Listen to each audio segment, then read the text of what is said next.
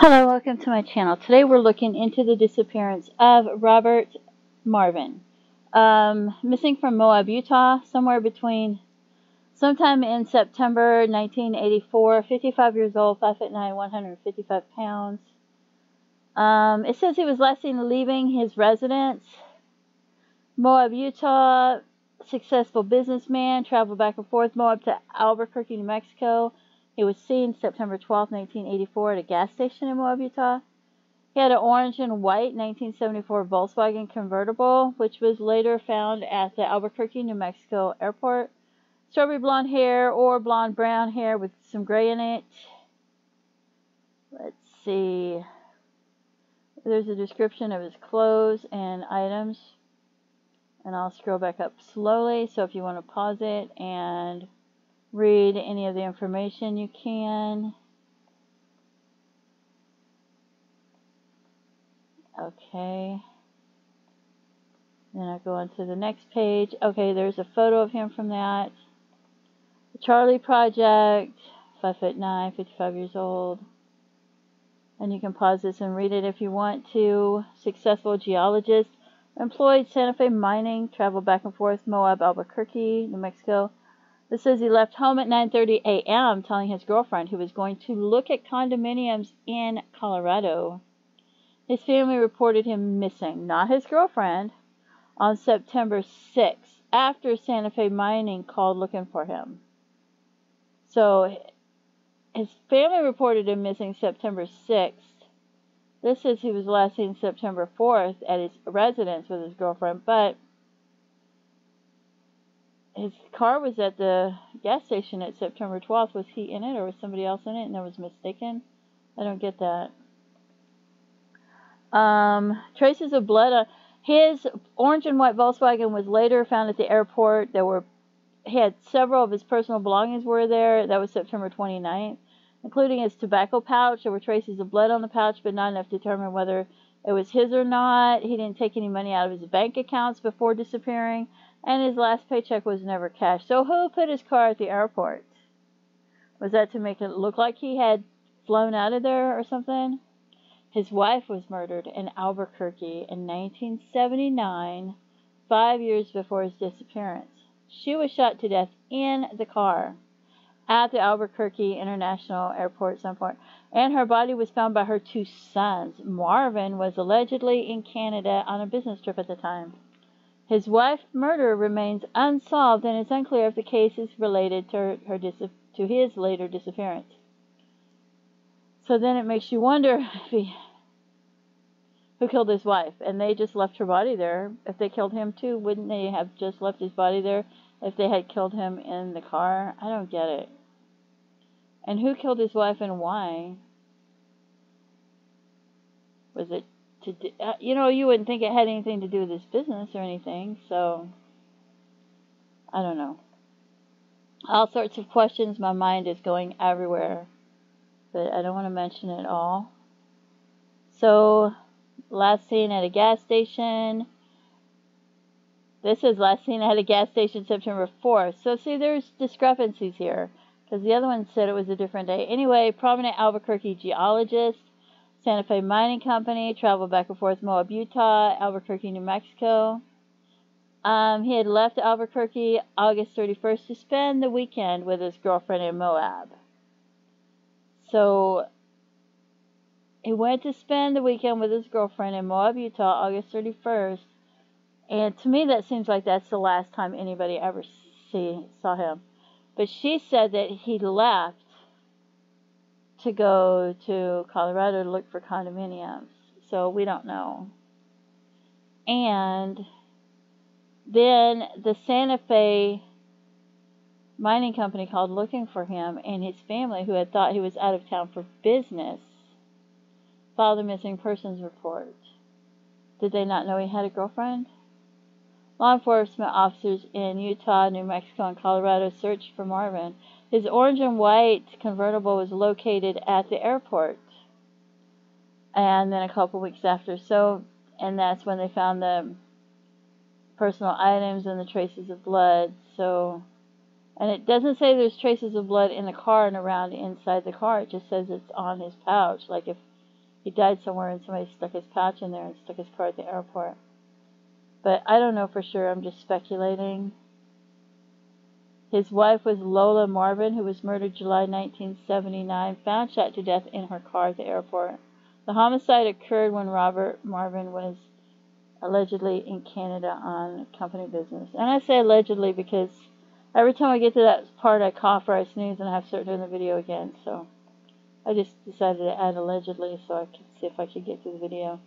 Um,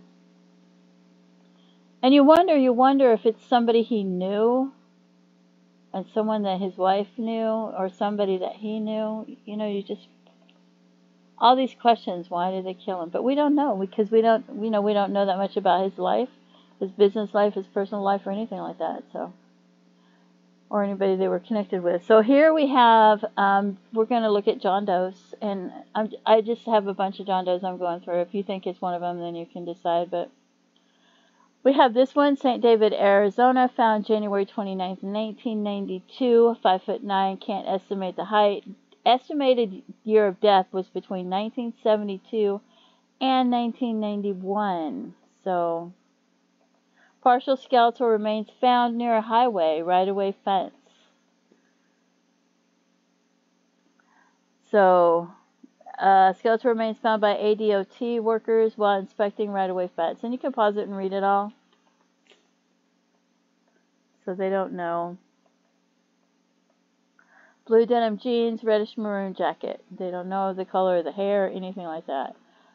Okay, next one is five foot four to five foot eight. Some of them I decided to leave in there whether they were the right age or exactly the right height because I just thought I'll leave him in there. Colorado Springs, Colorado, in case you went to Colorado, 1982 to 1986. Traumatic injuries, homicide, shot once in the head and also suffered blunt force trauma to the head.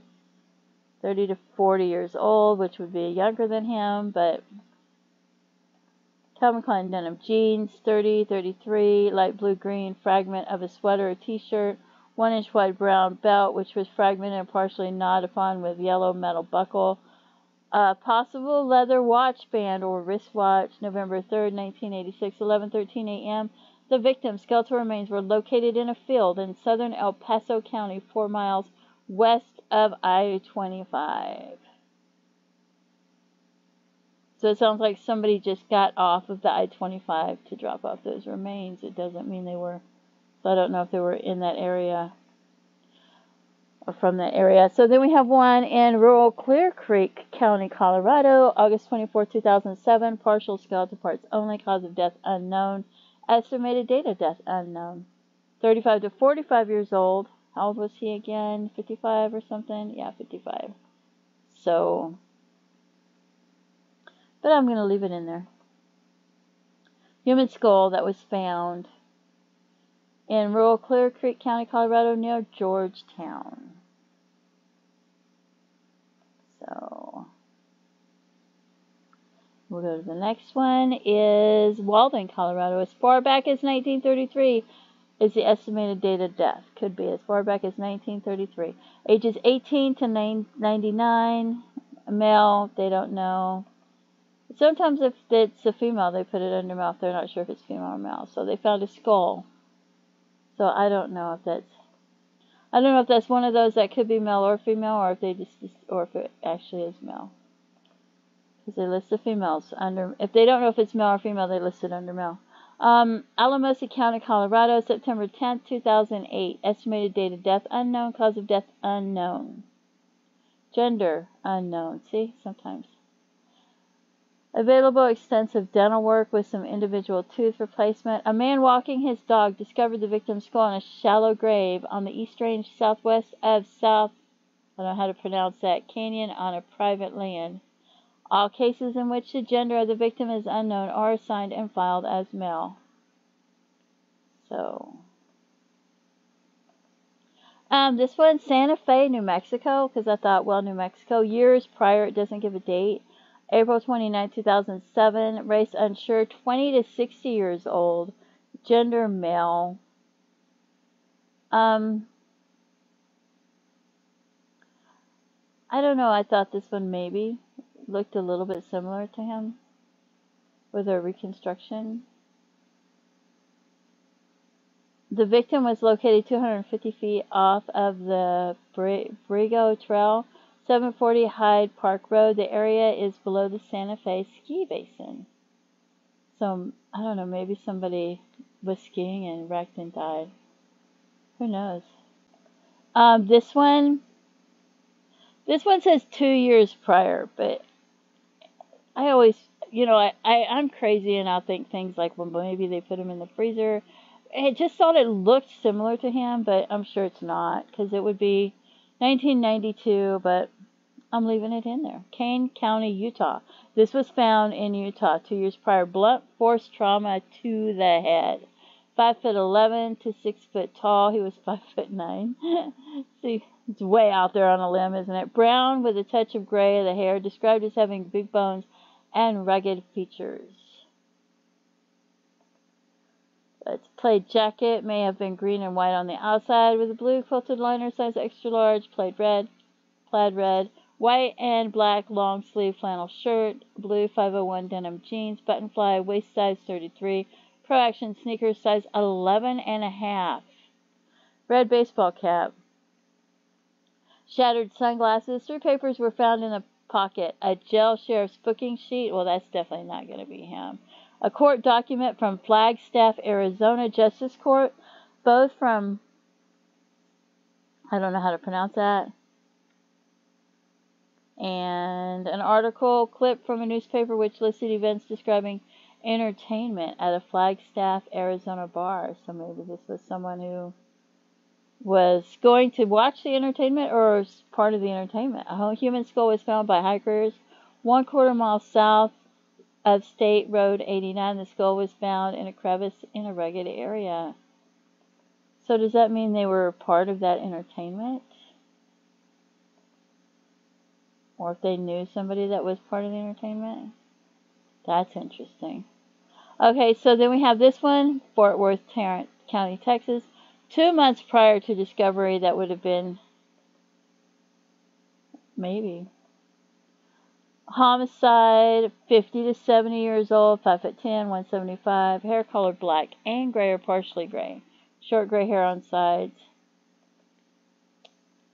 Black socks. Victim was found in a creek bed in Texas. So, don't think that's him, but